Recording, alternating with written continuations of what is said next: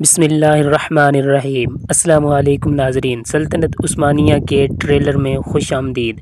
नाजरीन, इस ट्रेलर में हम देखते हैं कि उस्मान साहब बाला ख़तून और सिपाहियों के साथ मौजूद होते हैं।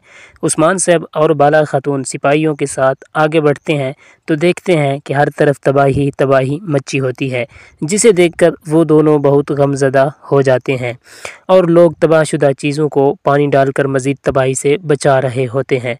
उस्मान साहब ये मंज़र देखकर बहुत ज़्यादा अफसरदा और रंजीदा हो जाते हैं।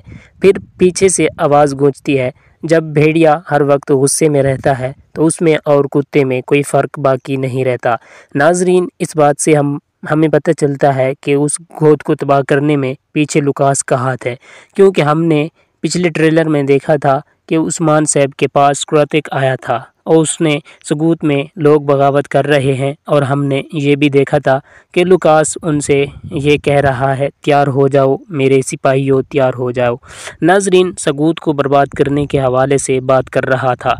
अगले मंज़र में हम देखते हैं कि लुकास अपने किला में मौजूद होता है और गुस्से में वहाँ पर मौजूद फलों को काट रहा होता है और गुस्से से पागल हो रहा होता है और चीज़ें इधर उधर फेंक देता है। फिर एक आवाज़ गूंजती है उस्मान बगावत से निमट रहा है तो हम अपनी ज़मीनें वापस लेंगे। यानी कि नाजरीन, ये लुकास की एक चाल थी। उसने पहले बगावत शुरू करवाई, और अब वो चाहता है कि वो बगावत के ज़रिए अपनी ज़मीन, जो किले उस्मान साहब ने फ़तह किए हैं, वो वापस ले।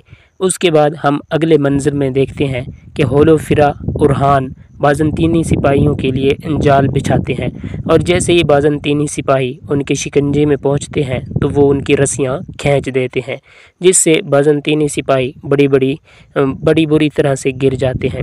नाजरीन, जैसा कि हमने पिछली एपिसोड में भी देखा था कि जब होलोफिरा और उरहान बाज़नतीनी सिपाहियों से लड़ रहे थे तो एक बाज़नतीनी सिपाही ने होलोफिरा की गर्दन पर तलवार रखी और होलोफिरा और उरहान उनके दरमियान थे।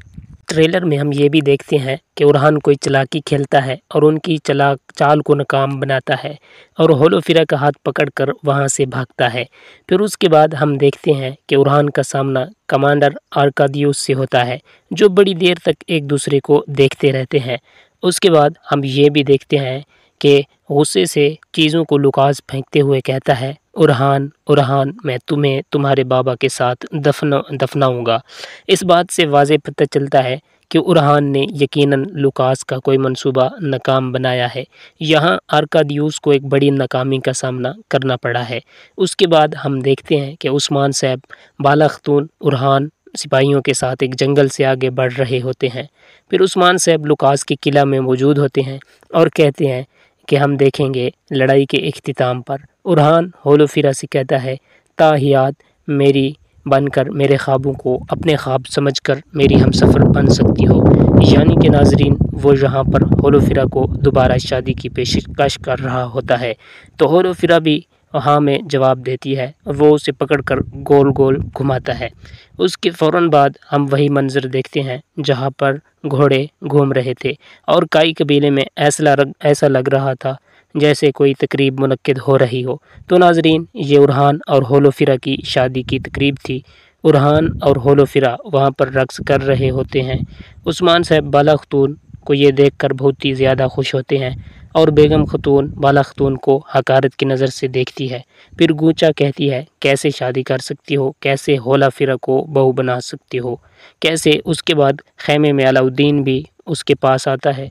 और गूंचा उससे कहती है, चलो अलाउद्दीन यहाँ से चलते हैं।